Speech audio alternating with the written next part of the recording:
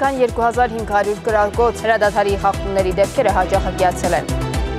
Ադրբեջանի մտածելակերպի մեջ ոչինչ չի փոխվում։ Լեռնային Ղարաբաղի Հանրապետության նախագահի խոսնակը պատասխանել է Ադրբեջանի նախագահ Իլհամ Ալիևի հայտարարությանը։ Էներգետիկա մտանգության հարցը օրակարգում նախագահ Արմեն Սարգսյանը այսօր Հորդանանում մասնակցել է համաշխարհային տնտեսական համաժողովին։ Ռազմական գործողությունները Լիբիայում շարունակվում են ազգային բանակը իր վերահսկողության տակ է վերցրել մայրաքաղաք Տրիպոլին եւ եւս երկու քաղաք։ Սոցիալական ցանցերի մեծ օգտատերերի խոսքի ազատության սահմանաչափն ու օրենսդրական կարգավորումները մեկնաբանում են մասնագետները։ Սիրիայի հայկական համայնքի վերականգնման հերանեկարները ազգագրագետ Արսեն Հակոբյանը Շանտ Նյուզի տաղավարում ներկայացրել է իր տեսակետը։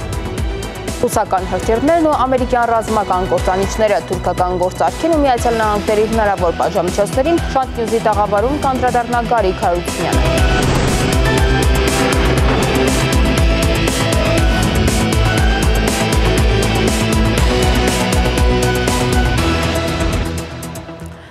Հորիզոնը շարունակում է աշխատանքը բարև ձեզ։ Նախորդ շաբաթվա ընթացքում հրադադարի խախտումները հաջողակիացել են։ Մարտի 31-ից ապրիլի 6-ն կայ ժամանակահատվածում Արցախի առաջնագծում հագարակորդը տարբեր տրամաչափի հրաձգային զինատեսակներից հայ դիրքապահների ուղղությամբ արձակել է ավելի քան 2500 գրակոց։ Նախորդող շաբաթում արձակվել էր շուրջ 1000 գրակոց։ Պաշտպանության բանակի մամուլի ծառայությունից հայտնում են, որ առաջապահ զորամասերը շարունակում են լիակատար վերահսկողություն պահպանել առաջնագծում։ Լեռնային Ղարաբաղի Հանրապետության նախագահի խոսնակ Դավիթ Բաբայանը Շանտնյուզի հետ զրույցում անդրադարձել է Ադրբեջանի նախագահ Իլհամ Ալիևի հայտարարությանը, թե տարածքները վերադարձնելուց հետո Ադրբեջանը պատրաստվում է վերակառուցել ու նոր կյանք տալ այդ քաղաքներին։ Բաբայանի կարծիքով այս հայտարարությունը ցույց է տալիս, որ Ադրբեջանի մտածելակերպի մեջ ոչինչ չի փոխվում այն որ նրանք նման հայտարարություններ են անում, եւս մեկ անգամ ցույց է տալիս, որ որևէ բան չի փոխվում իրենց տեսլականի մեջ։ Երբևէ չպետք է թերագնահատենք, ասենք դե ապուշ բաներ է դուրս տալիս, չէ։ Գիտեք ժամանակին Հիտլերը երբ որ խոսում էր իր գաղափարների մասին, չէ, որ մտածում էր թե շենք հա, դե ինչ է ասում, բայց տեսակ չի ինչ եղավ։ Երբ որ նա հնարավորություն ստացավ այդ խելագար ծնողամի գաղափարները իրականացնելու։ Ինչ եղավ Նույնը սա է, այսինքն մենք լավ գիտենք իրենք ինչպես են վերականգնել։ Ճյուղայի ճյուղաներ են վերականգնել շատերներում, այսինքն քանդել, ոչնչացրել եւ բազմապես ամեն ինչ այլ որպեսի հայկական հետ կանգամ չի մնա։ Այսինքն այս բանին մենք ծանոթ ենք։ Մենք ծանոթ ենք ինչպես ինչպեսի ինչ դեպքում վերամոլոքեցին հայկական թաղամասերը Բաքվի։ Գերեզմանոցները ինչպես քանդեցին հայկական, հրեական, ռուսական։ Այս ամենը մենք գիտենք Եվ երբեք չպետք է մոռանանք։ Այսինքն այդ հայտարարությունները, որ նա անում է, նա անկեղծ է անում։ Սա էլ է հետաքրքիր։ Չի փոխվել ոչ մի բան։ Այո, պետք է խաղաղության եւ կայունության համար բանակցություններ վարել, աշխատել այս ուղղությամբ։ Սա միանշանակ է որովհետև այդ հանդիպումները մենք պետք է դիտարկենք նաև եւ հիմնականում խաղաղության եւ կայունության պահպանման տեսանկյունից, քանի որ կարգավորման համար նախ եւ առաջ երկու այսպես կարևոր հիմք է պետք։ Առաջինը պետք է վերականգնի լիարժեք ձևաչափը, որը չկա։ Երկրորդը վերջապես պետք է գաղափարներ լինեն, չէ՞ համապատասխան։ Ադրբեջանը պետք է հրաժարվի իր ֆաշիստական հայապետ քաղաքականությունից ռևանշիզմից։ Վարչապետ Նիկոլ Փաշինյանը այցելել է Հայաստանի Հանրապետության կենտրոնական բանկի Դիլիջանի ուսումնահետազոտական կենտրոն ծանոթացել իրականացված ուսումնասիրություններին։ Ներկայացվել են նաև արժեթղթերի շուկայի վիճակը եւ զարգացման հերանեկարները, ներդրումային, ֆինանսական ներգրավվածության ապահովմանը եւ մակրոտնտեսական քաղաքականությանը վերաբերող հետազոտություններ եւ ծրագրեր։ Աշխատանքային այցով Հորդանանում գտնվող նախագահ Արմեն Սարգսյանը հանդիպել է միավորված ազգերի կազմակերպության գլխավոր քարտուղար Անտոնիո Գուտերեշի հետ։ Նախագահ Արմեն Սարգսյանը ասել է, որ Հայաստանը ակտիվորեն ներգրավված է կազմակերպության եւ դրա կառույցների աշխատանքներում։ Արմեն Սարգսյանը ընդգծել է նաեւ Անտոնիո Գուտերեշի մեծ ներդրումը Գալուստ Գյուլբենկյան հիմնադրամի գործունեության մեջ, որի հոգաբարձուների խորհրդի անդամ է եղել երկար տարիներ։ Նախագահը բարձր է գնահատել ՄԱԿ-ի աջակցությունը ԵԱՀԿ Միսկի խմբի համանախագահների ջանքերին, որպես Ղարաբաղյան հակամարտության կարգավորման հարցում միակ միջազգային մանդատ ունեցող ձևաչափ։ Նախագահը այսօր մասնակցել է համաշխարհային տնտեսական համաժողովի Մերձավոր Արևելքին եւ Հյուսիսային Աֆրիկային նվիրված ֆորումի բացմանը։ Արարողությանը ներկա են եղել երկրների նախագահներ, կառավարությունների եւ միջազգային կառույցների ղեկավարներ։ Ֆորումի մասնակիցները անդրադարձել են էներգետիկ անվտանգության, մաքուր եւ վերականգնվող էներգիայի աղբյուրների կիրառման, կլիմայական համակարգի փոփոխությունների եւ այլ հարցերի։ Որքանով է կառավարության աշխատանքը արդյունավետ եղել նախորդ ամիս։ Գործադիրի մամուլի ծառայությունը տեսանյութ է հրապարակել, որում ամփոփված են մարտին ընդունված կարևոր որոշումները։ Հայաստանի Հանրապետության կառավարության մարտ ամսվա գործունեության ամփոփումը Գործադիրում ստորագրվեց ուղիղ համաձայնագիր Երևանում նոր ջերմաէլեկտրակայան կառուցելու մասին։ 250 միլիոն դոլար արժողությամբ այս ներդրումային նախագիծը կյանքի կոչվի 26 ամսվա ընթացքում։ Նոր ջեկի շինարարության մեջ կներգրավվի 1000-ից 1200 մարդ, իսկ շահագործման ժամանակ կստեղծվի 230 աշխատատեղ։ Գործադիրը հաստատեց կառավարության կազմը եւ կառուցվածքը, ըստ որի այն կազմված է վարչապետից, երկու փոխվարչապետներից ու նախարարներից։ Ոչ բռնի Թավշյա հեղափոխության արդյունքում համաժողովրդական շարժման հաղթանակի կապակցությամբ ապրիլի վերջին շաբաթ օրը կնշվի որպես Հայաստանի Հանրապետության քաղաքացու օր։ Կառավարությունը որոշեց, որ մինչև 2018 թվականի դեկտեմբերի 31-ը ձեռք բերված աճ ղեկով մեքենաները կներմուծվեն մինչև 2019-ի մայիսի 1-ը։ Առաջնահերթություն կտրվի արդեն իսկ Հայաստանի սահմանային անցակետերում գտնվող տրանսպորտային միջոցներին։ Հարկային օրենսգրքի նախագծից հանվել է գազավորված ըմպելիքների հարկման դրույթը։ Գործադիրը կսուբսիդավորի գյուղատնտեսության ոլորտին տրամադրվող վարկերի տոկոսադրույքները։ Նախատեսվում է ավելացնել տրամադրվող վարկերի գումարի վերին շեմը, դարձնելով այն 3-ից 15 միլիոն դրամ։ Տնտեսվարողներին տրամադրվող վարկերի տոկոսադրույքը կազմելու է 5%, կոոպերատիվներինը 3, իսկ սահմանամերձ համայնքների բնակիչներինը 0%։ Այգիների հիմնման համար տրամադրվող վարկերը կհատկացվեն 8 տարի ժամկետով։ Տնտեսվարողներին 2, սահմանամերձ համայնքների բնակիչներին 0,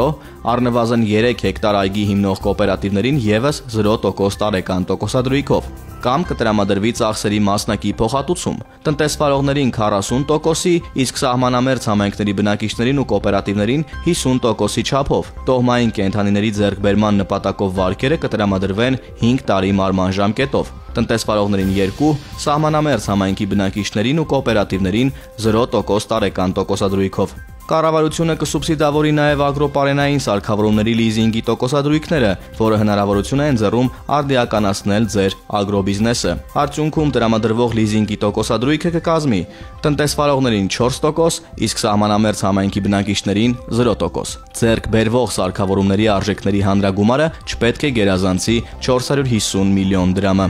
Կառավարությունը փոփոխություններ կատարեց նաև երիտասարդ ընտանիքին մաչելի բնակարան պետական նպատակային ծրագրում։ Անմիջապես կառուցապատողից բնակարան ձեռք բերելու դեպքում կհանվի ամուսիներից յուրաքանչյուրին ներկայացվող մինչև 35 տարվա սահմանափակումը։ Տոկոսադրույքը 9.5-ի փոխարեն կկազմի 7.5%, մարման ժամկետը կերկարաձգվի մինչև 30 տարի, կանխավճարը կկազմի բնակարանի արժեքի առնվազն 7.5%-ը։ Ձեռք բերվող բնակարանի արժեքն էլ կկազմի մինչև 30 միլիոն դրամ ավակ դպրոցներին հավելյալ 1 միլիարդ դրամ կհատկացվի։ Գումարը հատկացվել է այլ ծրագրերով նախատեսված աշխատանքների վերաբաշխման եւ տնտեսման հաշվին։ Կառավարությունը Արմատ լաբորատորիաներին հատկացրեց 352 միլիոն 226 հազար դրամ բնականon գործունեությունն ապահովելու ու խմբակների քանակն ավելացնելու համար։ Կառավարությունը կատարեց փոփոխություններ ուսանողական վարկերի գումարի վերաֆինանսավորման ծրագրում։ Ավելացվեց տրամադրվող վարկի տարեկան առավելագույն գումարը մինչև 700.000 դրամ, գործող 450.000-ի փոխարեն։ Արդյունքում ուսումնառության 4 տարիների ընթացքում ձևավորվող 1.8 միլիոն դրամ վարկի ընդհանուր ծավալը կավելանա կազմելով 2.8 միլիոն դրամ նվազեցվեց վարկավորման առավելագույն տոկոսադրույքը մինչև 9% տարեկան, գործող 12%-ի փոխարեն։ Արդյունքում բարձր առաջադիմությամբ ուսանողների համար վարկերը հասանելի կլինեն տարեկան առավելագույնը 6, իսկ մնացած ուսանողների համար 7%-ով։ Վարչապետ Նիկոլ Փաշինյանն ազգային ժողովում ներկայացնելով կառավարության ծրագրի կատարման ընթացքի եւ արդյունքների մասին զեկույցը հայտարարեց. հուլիսի 1-ից 10%-ով կբարձրանա զինծառայողների, սեպտեմբերի 1-ից էլ նույն չափով ուսուցիչների աշխատավարձերը։ Տևական ժամանակ վարորդները դժգոհում էին ավտոգազի գնի թանկացումից։ Պատճառը այն է, որ Հայաստանում գործող գազալցակայանների մեծ մասը ապրիլի 1-ից անցել է բնական գազի կիլոգրամով վաճառքի, ինչի հետևանքով ավտոմեքենաների շահագործման համար նախատեսված սեղմված բնական գազը զգալի թանկացել է։ Թեմայի շուրջ հեռանկարի տաղավարում Արամ Աբրահամյանը զրուցել է Հայաստանի Հանրապետության ազգային ժողովի Իմ քայլը խմբակցության անդամ Արտակ Վանուկյանի հետ։ Դիտենք զրույցից մի հատված։ ԱԳԼՃԿ-ներ, հա, կառավարության նիստում բարձրացրեց այդ հարցը, վարչապետը դրանից հետո այս մի քանի օրում կարող ենք ասել ինչ որ բան փոխվեց կամ միտում ունի փոխվելու։ Առաջինը, եթե մենք դիտարկենք այդ մի քանի օրը, մենք պետք է ասենք, որ պատկան մարմինները ըստ էության հանձնարարություն կարելի ասել ստացան, որ ավելի պատշաճ վերահսկողություն իրականացնեն ըստ ոլորտում, որովհետև ակնհայտ էր, որ առնվազն որևէ գնային տատանման համար որևէ, այսպես ասած, հիմնավորում կարծես թե չկար եւ սա արդեն իսկ հիմք է հանդիսանում, որովհետեւ մենք հասկանանք թե ինչպեսին է գնագոյացումը եւ ինչով են պայմանավորված այս տատանումները։ Այ ինչպես եք մենք հասկանում հիմք կար բարձրացնելու, թե չկար։ Ну փորձենք նախ հասկանանք։ Առաջինը, եթե մենք զուտ օրենսդրական դաշտի փոփոխության կամ ազդեցության տեսանկյունից ենք գնահատում, որևէ բան չի փոխվել, փորձեմ բացատրեմ ինչի։ Ճիշտ է կա փետրվարի 15-ի կառավարության որոշում ընդունված, որով որ հարկային օրենսգրքում առաջարկում էր փոփոխություններ իրականացվել եւ այնտեղ այսպես ասած խոնարհ մետրից դեպի կիլոգրամի անցման տրամաբանություններ դրված եւ դրանով պայմանավորված նաեւ վճարվելիք այսպես ասած հարկային պարտավորությունները բերել էին նույն որև առանց որևէ փոփոխության համադրելի կիլոգրամներով վճար օրենսգրքի փոփոխությունով իհարկե տոննաներով համադրելի փոփոխության, որը սակայն այնուհանդերձ ապրիլի չնայած ժամկետը դրված էր ապրիլի 1 այդ որոշման հարկային օրենսգրքի փոփոխությունը որպես ժամկետ, բայց դա ուժի մեջ չէր մտել, այսինքն այստեղ որևէ կարգի հավելյալ գործոն չկա, չկա գնագոյացման վրա ազդող այլ այսպես ասած գազի փոփոխության գործոն ընդհանուր, հա, եթե մենք դիտարկենք, այսինքն ինքը այլ հավասար պայմաններում որևէ ձևով չպետք է լիներ ազդեցություն։ Իդեպ ընդհանրացնելով պետք է ասել, որ այս ոլորտում այս փոփոխությունը եւս, այսինքն խորանարդ մետրին անցումը դեպի կիլոգրամ, նպատակ ունի հնարավորինս նվազեցնել մարդկային գործոնի, այսպես ասած, հանգամանքը եւ ավելի տեսանելի դարձնել սպառողին։ Այսինքն սպառողը որևէ կերպ այս փոփոխության արդյունքում չպետքա իր վերջնական, այսպես ասած, օգտագործվող ծավալը, հա, նախկինում օրինակ նա վճարում էր խորանարդ մետրի դիցուկ, հա, սա ենթադրենք 700 գրամ գրամ է դրա համարժեք, այսինքն փոփոխությունը մեծ հաշվով վճարի դիմաց ստացվող արդյունքի տեսանկյունից չպետքա լիներ Գազպրոմի մասին, պարոն Մանուկյան, Գազպրոմը հայտարարել է, որ խտությունը մեծացրել է, հա, ինչ որ 7-1-ից 7-7 է դարձրել։ Այդպիսի բան կար թե չկար եւ արդյոք այն ժամանակ էր խափում, երբ որ քիչ էր խտությունը, թե հիմա է խափում, երբ որ շատ է։ Ճիշտ ասած, խափելը դա այն տերմինոլոգիան է, որը որ պետք է ենթադրի որոշակիորեն նաև այն որ այս բնակավարում ակնհայտ է որ կան ռիսկ է, դրա մասին խոսում են նաև թվերը։ Ես ինքս որպես ազգային ժողովի падգամավոր նաև հարցում եմ կատարել, որպեսզի հասկանամ ինչպիսին է լինում այս վարկագիծը եւ ըստ էության ստացել են որոշակի տեղեկատվություններ, որ նայում ենք օրինակ աշխատողների հայտարարագրված աշխատողների թվականակը, հա 2017-ին, 2018-ին տեսնում ենք, որ մոտավորապես 4%-ով աճ կա։ Նայում ենք շրջանառության ծավալները, տեսնում ենք, որ բավականաչափ շուրջ 30%-ով շրջանառության ծավալները եւս աճել են։ Եվ նայում ենք այ ըստ էության գազի մասով նաև հանրային ծառայությունները կարգավորող հանձնաժողովը տարեկան հաշվետվություններն ենք նայում, այստեղ էլ եւս 15%-ի ԱԳԼՃՆԿ-ների կողմից սպառման աճ կա։ Իսկեն որոշակի դրական միտումներ կա, բայց այնուհանդերձ այս սա ինստիտուցիոնալացնելու համար կարծում եմ, որ այն ժամանակաշրջանն է, որ մենք ավելի լավ հասկանանք ինչպես էին գնագոյացումները տեղի ունենում նախկինում եւ որոնք են այդ գնագոյացման վրա ազդող գործոնները, որpիսի սա ավելի տեսանելի լինի եւ հասկանալի լինի վերջնական սպառողին։ Շուկայի կառուցվածքը դուք ուսումնասիրել եք, արդյոք այստեղ կա մենաշնոր կամ գերիշխող դիրք։ Ну մենաշնոր ասելը ճիշտ կլինի կիրառել միայն բնական մենաշնորների դեպքում, այստեղ կան բավականաչափ մեծ խաղացողներ, եթե մենք Ահա, այդ մասով էլ իհարկե ես, քանի որ ամբողջական վերլուծության տեսանկյունից դա էլ եւս կարեւոր է համարել, այդ մասով էլ տեղեկություն հայցե, թե մենք դիտարկում ենք կետերի թվականակը, սա մոտարապես 400-ի շուրջ 406, եթե ճիշտ եմ թիվը հիշում, կարգի կետեր են։ Բայց եթե այո, եթե դիտարկում ենք մենք տնտեսվարող սուբյեկտները, որտեղ մի տնտեսվարողը, որը ունի մի ՀՎՀ, հնարավորություն ունի ունենալու մեկից ավելի թվով կետեր, հա, Սա եթե էլի 352 ըստ էության տնտեսվարողներ են գործում։ Իհարկե շատ ցանկալի կլներ, որ մի քայլ էլ ավել անենք, բայց սա նաև որոշակի հավելյալ ժամանակ եւ ուսումնասիրությունները պետք նայել նաև սեփականատերերը, որովհետեւ նույն մեկ տնտեսվարող սուբյեկտը կարող է ունենալ ըստ էության մի քանի կամ մի քանի տնտեսվարող սուբյեկտները կարող են ունենալ մեկ սեփականատեր, բայց մարզային տեղաբաշխվածություններ ենք փորձը ուսումնասիրել եւ եթե դիտարկում ենք հիմնականում հենց Արմավիր եւ Արարատ շուրջ 15% այնտեղ է, Կոտայք 10% եւ այլն։ Այսինքն ըստ էության, եթե մենք դիտարկում ենք այս ողջ տվյալները, կարող ենք ասել, որ շուկայում բավականաչափ ցածր կենտրոնացվածություն ունենք, այսինքն չկա մեկ դոմինանտ, այսպես ասած, տնտեսվարող սուբյեկտ, որը որ կարող է էականորեն ազդել շուկայի վարկագծի խաթարման մեջ։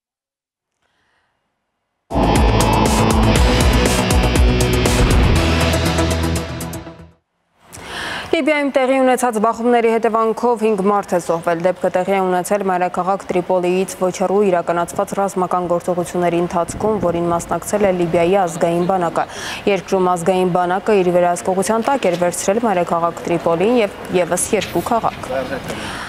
Վանդալիզմի է ենթարկվել ախալքալակի հայկական մատուրներից մեկը, ճկնավորի մատուրը, որը 13-րդ դարով է թվագրվում։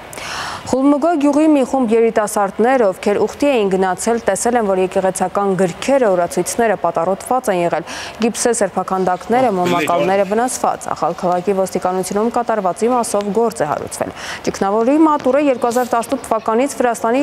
մշակութային ժառանգության պահպանության գործակալության կողմից ընդգրկվել էր մշակութային ժառանգության ցանկում։ Հորիզոնի հետ զրույցում ախալ քաղաքի քաղաքապետը եւ Վրաստանի jnews.j կայքի լրագրողը նշել են, որ վանդալները շինությանը վնաս չեն հասցրել ազգային որևէ ենթատեքստ նույնիսկ չի կարող ունենալ սա։ Շատերը հայտարարում են Facebook-յան էջերում գրում են, որ սա պրովոկացիա է կամ չգիտեմ թուրքերն են արել կամ ես չեմ մտածում ու անկեղծ տեսակետները չեմ գիտում։ Սա մեկն է արել, ով իմ կարծիքով չարացած է եղել աշխարհից ու աստծից նեղացած է եղել ես կոնկրետ չեմ կարող ասել կասկածյալներ կամ չեն դա քննության այսպես ասած իրավասությունն է շարունակում են կարող է այդպեսի բաներ լինի իհարկե չեն հայտարարել գիտեք որ քննությունը գաղտնի է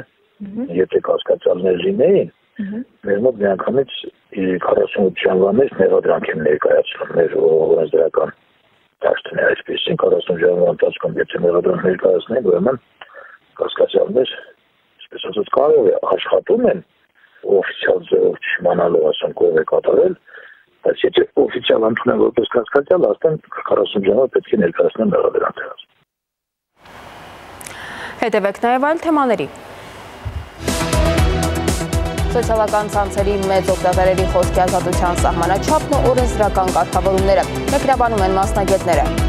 Սիրիայի հայկական համայնքի վերականգնման հերանեկարները ազգագրագետ Արսեն Հակոբյանը շանտյուզի տաղավարում ներկայացրել է իր տեսակետը։